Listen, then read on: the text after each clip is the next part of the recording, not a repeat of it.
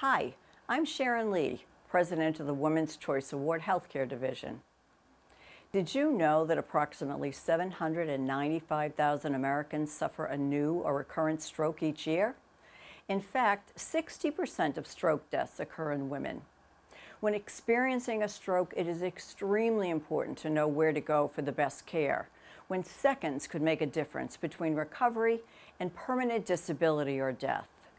For this reason, I'm pleased to recognize this hospital for earning the 2015 Women's Choice Award as one of America's best stroke centers. This hospital has been selected from more than 1,120 centers that report data to the Centers for Medicare and Medicaid. This hospital has met the highest standards of health care, including some of the lowest readmission and mortality rates in the nation. We thank you for providing the best care to women and their families in your community.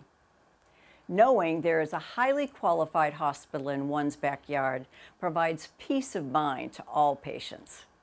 Congratulations for earning the prestigious 2015 Women's Choice Award as one of America's best stroke centers.